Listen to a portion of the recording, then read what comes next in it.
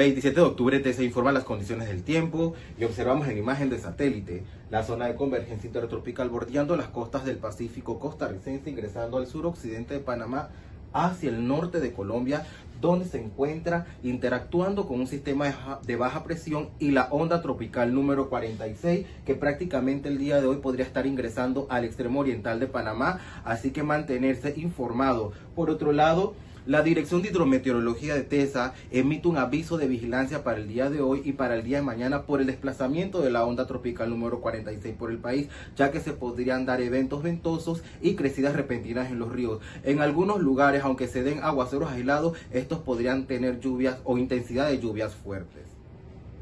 En horas de la tarde se esperan aguaceros y tormentas dispersos a lo largo de la vertiente del Pacífico y también lo que es el oriente del Caribe panameño.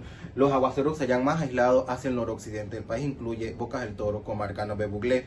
Estas condiciones podrían estar predominando hasta horas de la noche, por lo menos en la región del Golfo de Panamá y zonas costeras. El Caribe se mantendría con cielo parcial nublado, aunque no se descartan las lluvias en los sectores montañosos, pero de manera aislada. Condiciones favorables marítimas en ambas vertientes. Olas máximas en el Pacífico las podemos encontrar en el Golfo de Chiriquí hasta 1.8 metros y en el Caribe estarían alcanzando hasta los 0.9 metros. Se podrían dar ráfagas superiores a los 20 kilómetros por hora en ambas vertientes.